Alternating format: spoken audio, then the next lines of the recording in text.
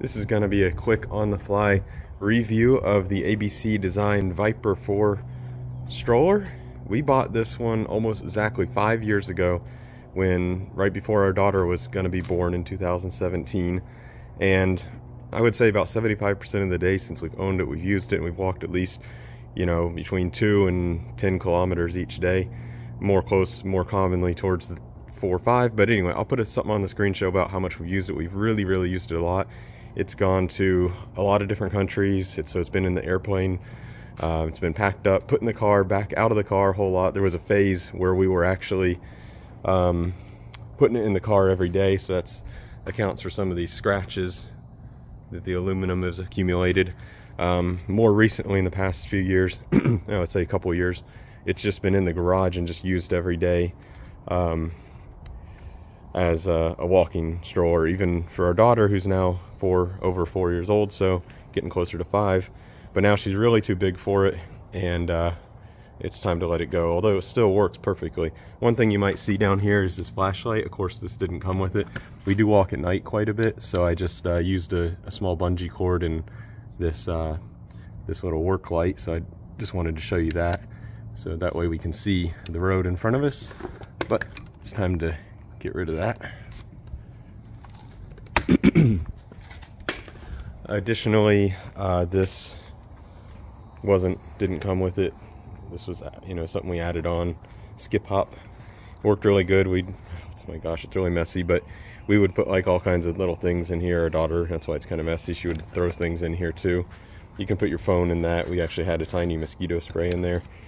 Um, and the other thing we have that we've used a lot, turned out to be really handy, is this plastic cover. And it goes over the, it didn't, I, I don't think it's by this brand. I think we got this somewhere in France for uh, just like 10 euro. Anyway, it's coming really handy when it started, when we got caught out in the rain. It, totally encloses the stroller so your little one doesn't get wet at all. Of course, you still get wet, but anyway, that's all the accessories and things that we added on to it. I think other than that, that's pretty much the way it came.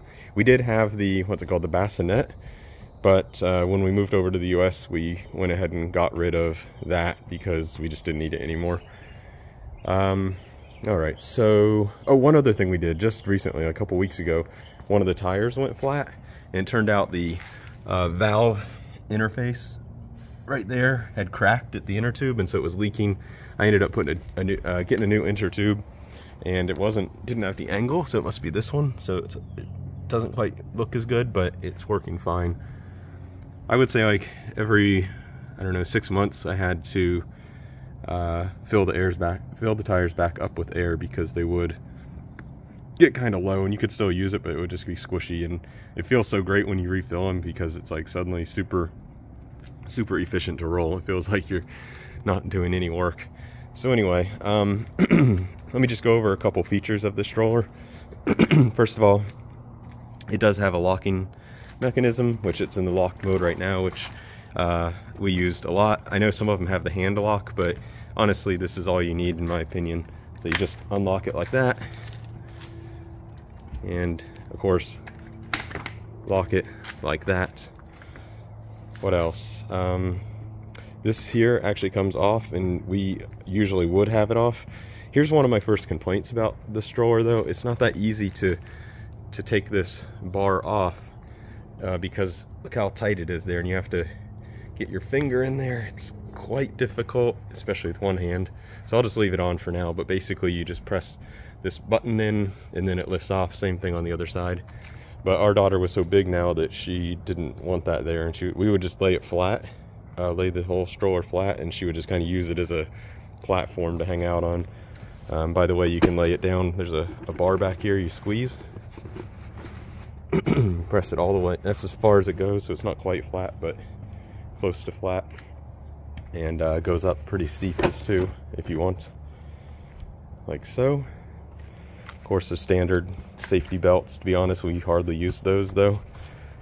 Um, that's not a recommendation. but when she was really young, we did. But once she got a little bit bigger with better balance and stuff, uh, we didn't do the, use those that much. Um, the top here, of course, you have. Now this is another area of complaint uh, I have a little bit. This thing, one of these, Oh, okay, well they're in good now actually, but occasionally these metal rods would come out of the plastic and then it would just kind of be bouncing around over there. So uh, right now they're all in there good, surprisingly. It seems like I was always having to fix those, but anyway, um, so the way that that works, for some reason it's often crooked and I find it difficult to get completely straight. I mean, not a big deal. Um, has this little flap here, which we never really used.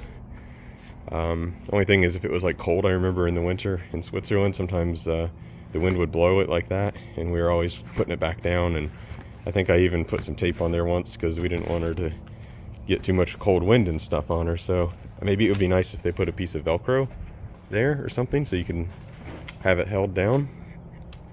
But uh, yeah, then you can put it back down like that. It does say it's SP or UPF 50, so that's some kind of sun protection. Obviously, it says sun protection right there. What else can it do? Uh, of course, it has the telescoping uh, handle. That's pretty nice. I usually liked it like this. My wife liked it a little bit shorter, but uh, yeah, that's pretty good. What else? Features do we have? You can lock the front also. I never really needed to do that. I believe that's with this switch. I think. Sorry. Yeah, there. Then you can, then the front's locked. I only did that like one time or something, but it's not really ever served to be useful. Okay, so next thing is I'll go ahead and show you how you take it down to store away in your car or wherever. Okay, so Usually I go ahead and collapse that down. Then there's two handles right here. Hope you can see them. Yep, right there. And of course one on the other side. You just simply squeeze and then lift. Really easy. That pops off. Next, uh, make sure you can see right here, there is a uh, rotational piece. You rotate that. At the same time you squeeze up here kind of give it a, bit of a shake and a shove. It takes a while to get the feel for it, but once you do, it's pretty easy. Then the whole thing just collapses like that. And then what we would do is we would put this on top, like in the car like that. So first I'd lift the bottom part and then I'd put this on top. That's the kind of the process we went with. Now if you wanted it even flatter, the wheels do come off as well. And they're really easy to take on and off. You simply, there's this, I don't know if you can see it, but there's a metal tab here. So you simply push that tab, falls out, Push this tab on this side, that falls right out. Now it gets a lot flatter. This one, these one, uh, these uh, back ones are easy too. There's a button. It's hard to see, but there's a button right down in there. Simply press it, comes off. Press the other one, and it comes off. Now with all that, it gets a lot flatter. The whole the whole system gets much more compact. Goes back on easy. You just push it in. They just clip into place. That. That. Like that. Then you have your wheels on. Now to bring it back. Oh, that's right. To bring it back up, uh, there's there's a tab right there. You can see. so you just pull the tab out and lift up snap it into place, and then set this back on. and by the way, this can be rotated, so if you want, you can have it in that orientation too. But we almost never used it like that for some reason.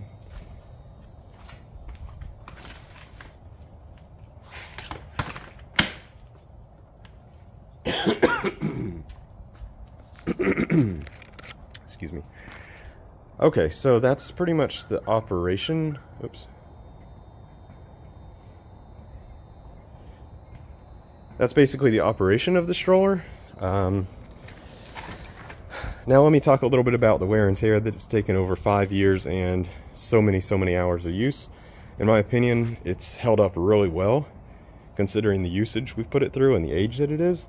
But there are some points of wear. You can see up by the up by the handle here. There's some kind of chewed up areas just from my hands or my wife's hands. Um, over here as well, same thing. You know, there's a lot of scratches and stuff. But a lot of that has come from uh, airplanes, I think, uh, air flights. You can even see an airline sticker was left there, the residue. Um, yeah, quite, quite a number of scratches have built up on it, I think, from, from flying and maybe being loaded in and out of the car many times. Uh, those are the most signs of wear, I think, on it. Uh, we haven't really cleaned it that much. We just kind of cleaned it with some uh, wipes a few times here and there, but haven't done too much for cleaning and stuff. I've never like hosed the whole thing down. There, I'm starting to think that there's starting to be kind of a lot of play in this wheel. I don't know, but it might have had a little bit less when we got it. It's not bad. It still works perfectly fine. It rolls smooth. But, you know, this has probably had, I don't know, I'll throw the number up. It probably had like a thousand kilometers or miles or something on it. We've really, really used it a lot. And sometimes also like on a lot of gravel roads and a lot of um, like dirt trails and stuff like that. So it hasn't been all nice, easy asphalt either. You know, we've, we've we definitely put it through its uh, paces. Uh, what else can I say about it? I think that's about it. I'm not really sure what that is, to be honest. Maybe that's a, an accessory that we didn't get. In terms of the price, I also, I'm sorry, I don't remember the price, but I want to say we spent like 500 euro on it or something. Uh, if I, I'll ask my wife if she has a better idea of the number. Oops, I shouldn't have pushed that up because you have to use two hands to put it back down. There's a spring button there and also on the other side, so you have to use both hands to, well, here, I'll go ahead and do it real quick. Hang on. There we go. I just paused the video and went ahead and did that. So they can also put their feet down there, is the idea, I suppose. We didn't use it in that configuration too often. Anyway, in terms of the price, I'll flash it up on the screen if I have a better figure, but I want to say it was around 500 euros, which to me at the time seemed ridiculous. I was like, 500 euros? when you can like see some at the store for like 150 or something but it actually was one of those things where you spend a lot of money but you don't regret it because we've used the heck out of this thing for like five yeah five whole years. And if we were to buy the cheaper one i'm sure we would have had to go through you know a number more. To, to for full transparency though we did have another stroller at one time like a cheapy one a little um, kind of umbrella more close to an umbrella stroller. Not exactly but lighter duty than this. Um, we used that for a period of time just to, uh, for putting in the car, in and out of the car, while we left this one in the cellar where we would walk every day with it. But then eventually we got rid of that one and this one became the walking one too. So, but just to let you know, it, it wasn't, we did have one other, we did end up with one other stroller. Uh, no, that's not true. We actually had another one too in the, we had in the US for when we came back here for trips. It was like uh, another cheap one because we didn't want to haul this one to the US every time. But anyway, uh, that's pretty much it about the stroller. I would rate it like, I mean, other than a couple minor inconveniences like like that button, like this thing coming out, uh, some this uh, metal tab coming out sometimes. Literally, that's like my only two complaints. It's a really good stroller, and I mean, excuse me, it's got a bit of weight to it, but uh, for its size and for what you get, it's actually pretty light considering most of the the frame is aluminum. Like that's all aluminum. That's all aluminum. Aluminum than just plastic joints. Um, anyway, I think it's actually a really great stroller. I, I'd give it like nine and a half out of 10, you know, if I were to score it that way. Um, yeah, that's pretty much it. As for this one, we're gonna see if we can get a few bucks for it. And uh, if not, we'll just donate it. Anyway, thanks for watching the video. Have a great day. Bye.